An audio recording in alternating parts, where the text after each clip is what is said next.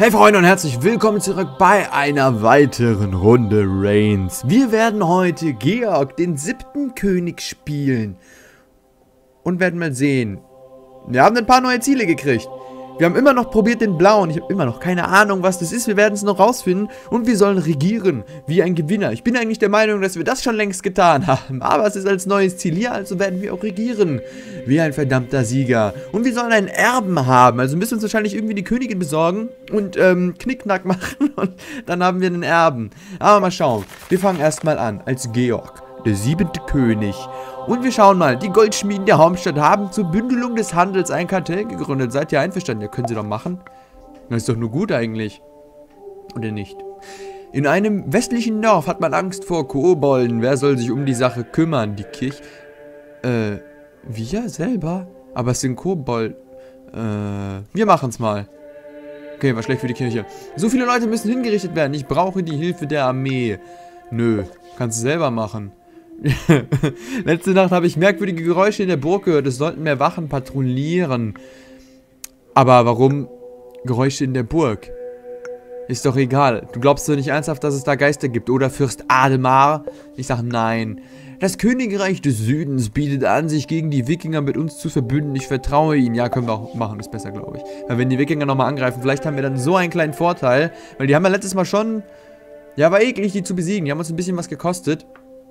Und in den Minen sind wir nun auf Gold gestoßen. Sollen wir tiefer graben? Ja, vielleicht ist da noch mehr Gold. Oh, das hat natürlich Leute gekostet. Die müssen dann natürlich in Stollen rein und arbeiten. Das ist natürlich, ja... Na, Pech gehabt, ne? Ein heiteres Grüppchen eurer betrunkenen Soldaten hat ein Kloster geplündert. Wir wollen Gerechtigkeit. Ja gut, plündern geht natürlich gar nicht eigentlich, ne?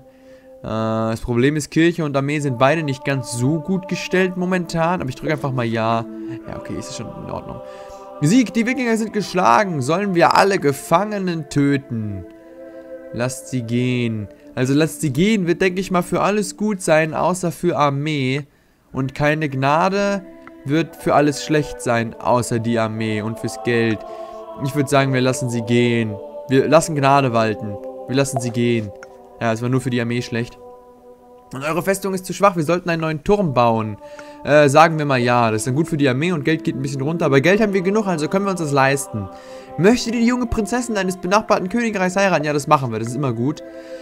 Majestät, wir sollten Geld für eine Gemeindescheune ausgeben und so Hungersnöten vorbeugen. Das können wir gerne machen, wir haben mehr als genug Geld. Dies wirkt sich jedes Jahr aus. Oh, sehr schön. Die Scheune war teuer, aber sie schützt gut gegen Hungersnöte und damit verbundene Aufstände. Sehr nice. Haben wir uns wieder hier unten was Kleines verdient. Ich frage mich, wo unser Krankenhaus hin ist. Wir hatten ja ein Krankenhaus gebaut, aber das ist irgendwie nicht mehr da. Ich weiß nicht, wieso es weg ist. Keine Ahnung. Wahrscheinlich äh, resetten sich die Sachen auch irgendwann immer wieder. Deswegen weiß ich nicht genau, warum es weg ist. Und hier hat jemand im Wald blaue und braune Pilze gefunden. Der blaue scheint essbar zu sein. Probiert den blauen. Das werden wir jetzt machen und noch ein Ziel damit erreichen von General Blomington oder Bloomington. Wir werden den blauen essen. Der Benommene probiert den blauen. Dies wirkt sich jedes Jahr aus. Blauer Pilz, ihr fühlt euch plötzlich sehr glücklich und dann passieren seltsame Dinge. Ich sagte es doch euch gleich, es sind Drogen. Der blaue ist eine Droge. Dieser Kuchen wird euch einen Vorgeschmack aus Paradies geben, Majestät, von Madame Selviger, Selviger und Magenkrämpfe. Ja komm, mach Paradies, hau ein. Erzbischof von Alamein. Okay, wir sind jetzt, wir haben den blauen gefressen und wir sehen jetzt hier richtig Halluzinationen. Der Typ ist jetzt einfach ein Hase. Müssen wir eine neue Kirche bauen? Ist es wirklich nötig? Ich glaube, es ist nicht nötig. In einer meiner Hände habe ich ein Geschenk für euch. Links oder rechts. Es gibt uns auch unterschiedliche Sachen oben, wie ihr seht. Links gibt uns Armee und Geld, rechts Kirche und Geld. Ich nehme Armee und Geld. Ah, es war schlecht für uns.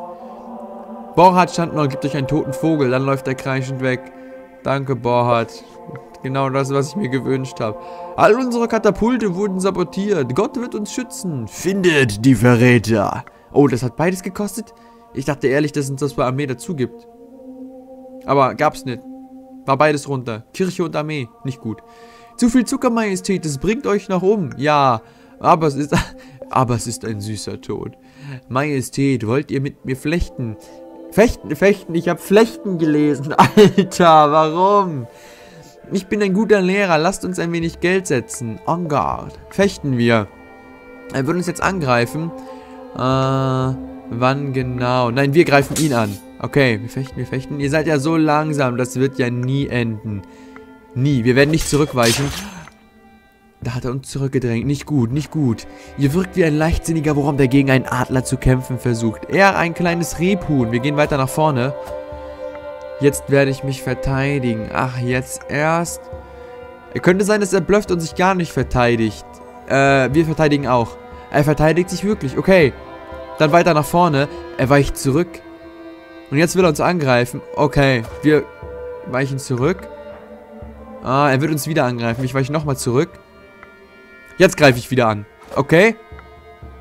Es ist ein bisschen tricky. Wir müssen so ein bisschen auf das achten, was er sagt und dann vor und zurück weichen. Es ist quasi, ist halt Fechten. Es geht vor und zurück. Und er sagt jetzt, euer Mund ist eine bessere Waffe als der Zahnstocher, den ihr da haltet. Sicher, dann kommt doch her.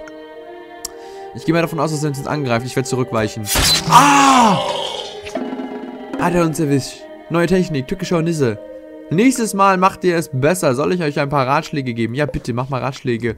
Beim Fechten müsst ihr gut abwägen. Der Angriff ist explosiv und klar. Die Verteidigung listig und tückisch. Fahrt fort. Wenn ihr euch verteidigt, habt ihr eine Chance, in der folgenden Runde eine Spezialtechnik auszulösen. Okay, das ist cool. Seht euch euren Gegner an, denn so könnt ihr neue Stöße und Finden erlernen. Vielen Dank. Okay, machen wir das mal. Vielleicht äh, sind wir dann beim nächsten Mal ein bisschen besser, weil wir haben ja schon einmal im Dungeon von diesem einen Skelett aufs Maul gekriegt und das will ich eigentlich ein weiteres Mal nicht erleben. Und jetzt wollen wir einen neuen Marktplatz bauen. Er wird unsere Wirtschaft, äh, wird unserer Wirtschaft den Fernhandel eröffnen. Ja, dann machen wir das. Ist doch gut. Majestät, ihr sterbt an einer Lungenentzündung. Warum sterben wir an einer Lungenentzündung? Sterben wir doch gar nicht. Hä? Hä? Er hat gesagt, wir sterben an einer Lungenentzündung. Ich konnte nur zwei Sachen auswählen. Das bedeutet eigentlich immer, dass wir sterben und wir sind gar nicht tot. Nun gut. Die Baronien des Ostens führen wieder Krieg und ihre Bevölkerung kommt scharenweise zu uns. Schließt die Grenze. Wir lassen hier niemanden rein. Mein Liebster, ich möchte ein Turnier ausrichten. Königin Elisabeth. Ja, mach doch. Einfach mach doch. Er kostet halt ein bisschen Geld, aber es bringt halt der Armee und den Leuten was. Bisschen Belustigung, ein bisschen Kampf und so. Wir sollten Wallfahrten zum Grab des heiligen Armand einführen. Ja, können wir machen. Aber ich muss aufpassen, dass das äh, Volk nicht zu hoch wird. Es gibt sonst Ärger. Dann sterben wir wieder. Ich möchte der sagenhaften Umwandlung von Blei in Gold nachgehen. Finanziert ihr die Forschungen? Nein. Nein. Oh, das bringt der Kirche was? Die Leute halten euch für einen guten König, wir sollten die Steuern erhöhen. Das kann ich machen, das macht die Leute ein bisschen runter, Geld ein bisschen hoch, genau das, was wir gerade brauchen. Spielen wir eine Runde Roter Zwergmajestät. Zunächst mit kleinem Einsatz, ich möchte euch nicht ruinieren. Ah, lieber nicht, ich habe nicht so viel Geld momentan, mein Freund. Mein Liebster, ich sterbe und weiß nicht warum. Bitte bettet mich im Grab meiner Eltern zur Ruhe. Königin Elisabeth. Warum stirbt sie denn? Aber na gut, wir betten sie im Grabe zur Ruhe. Hat uns überhaupt nichts gebracht, hat alles runtergemacht, keine Ahnung warum. Die Ernte war fantastisch, Majestät. Gebt dem Volk zu essen. Gebt dem Heer zu essen. Ist eigentlich beides scheiße, weil Heer und Volk beides relativ hoch ist. Aber ich würde jetzt einfach mal spontan Volke sagen. Oh, es bringt alles hoch. Okay. Ja, natürlich. Wenn wir dem Volk was zu essen geben, sind alle insgesamt glücklicher. Und sie sind natürlich auch produktiver. Dadurch nehmen wir gleichzeitig mehr Geld ein, obwohl wir unser Essen quasi verfüttern. Ist eigentlich logisch. Majestät, möchtet ihr von meinem Kuchen probieren? Dafür ist es zu heiß, euer Diener. Ähm, euer Diener? Der Kuchen ist sehr lecker. Okay, danke. Nice. In der Hauptstadt ist die Cholera ausgebrochen. Der blaue Tod wütet. Äh, schließt die Burgtore. Okay, das hat Leute runtergemacht. Endlich, es war viel zu hoch bei denen. Ein falscher Klick und die hätten mich platt gemacht. Ich kann euch ein paar Dinge über weiße Magie beibringen. Ähm, ja, okay. Wie man das Schicksal versucht. Weitere Vorschläge. Wie man den Teufel betrügt. Weitere Vorschläge. Wie man glücklich wird. Weitere Vorschläge. Tut mir sehr leid. Mehr habe ich erst einmal nicht. Ja, macht nichts. Okay. War dumm. wir hätten uns eins entscheiden sollen besser. Unser Herr ist stark und wir gewinnen den Krieg. Sollen wir einen Friedensvertrag erzwingen? Ja, ist vielleicht gar nicht mal schlecht.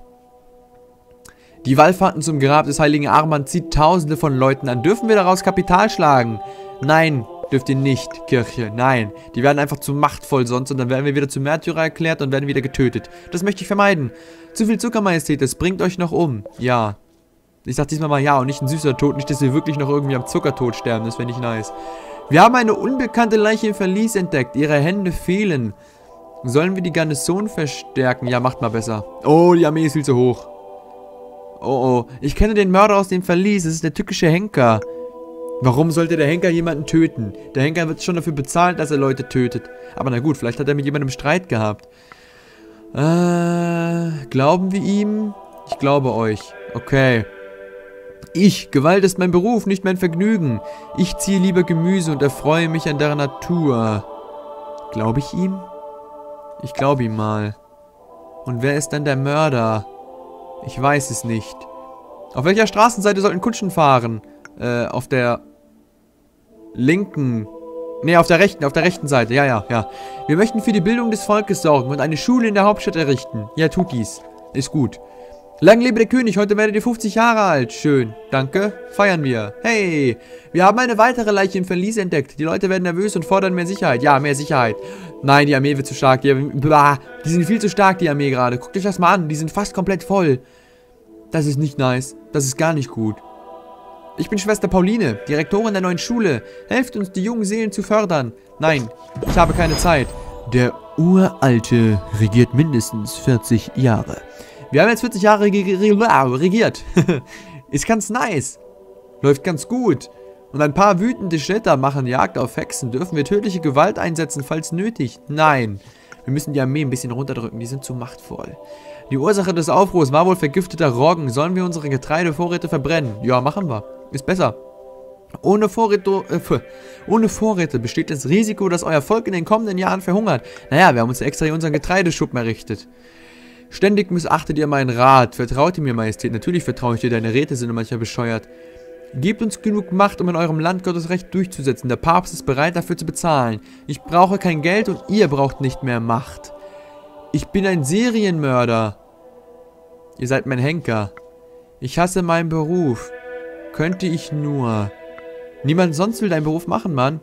Hilfe, Hilfe, die Gemeindescheune brennt. Entsendet die Garnison. Ja, los, macht das Feuer aus. Ich könnte der Henker werden. Doktor, was? Warum? Ich suche einen einfachen Weg, exotische neue Gifte zu testen. Ich kann auch zahlen. Ganz bestimmt nicht. Klar, warum nicht? Mach ruhig. Oh, fuck. Das Volk ist jetzt ganz unten. Schnell wird klar, dass Hygiene die geringste Sorge des Doktors ist. Alter Scheiße. Den Experimenten an Strafgefangenen folgt eine schreckliche Seuche. Ihr seid unter den ersten Opfern. Hat wahrscheinlich unser ganzes Königreich dahingerafft, weil der Typ einfach seine Instrumente wahrscheinlich nicht sauber gemacht hat. Hat sich eine Seuche gebildet und das ganze äh, Ding ist draufgegangen, die ganze Burg, die ganze Bevölkerung. Sieht so ein bisschen aus, als wäre es Lepra gewesen, wie da so der Finger abfällt. Scheint nicht gut gewesen zu sein. Aber wir haben 46 Jahre überlebt. Das ist verdammt nochmal ein neuer Highscore. Letztes Mal waren es, glaube ich, nur paar 20. Das ist ganz nice. Mal auf Fortfahren drücken. Wo sind wir denn jetzt hier? Lang lebe der König, Robert, der achte König. Wir sollen den Spion rekrutieren, wie ein Gewinner regieren und einen Erben besitzen. Ja gut, vielleicht schaffen wir es, das zu erreichen als Robert, der achte König, was wir in der nächsten Folge versuchen werden, Freunde. Und ich würde sagen, wir sehen uns in der nächsten Folge von Reigns. Ich weiß auch gar nicht, wie lange das Spiel geht, ob es irgendwann ein Ende gibt, wenn man lang genug als König gewesen ist oder so, keine Ahnung. Wir werden einfach mal immer weiterspielen, immer mal eine Folge machen und mal sehen, ob es irgendwann ein Ende gibt oder so. Wir zocken einfach so locker vor uns hin, Freunde. Und ich würde sagen, wir sehen uns in der nächsten Folge von Reigns wieder. Macht's gut und bis dann. Ciao, ciao.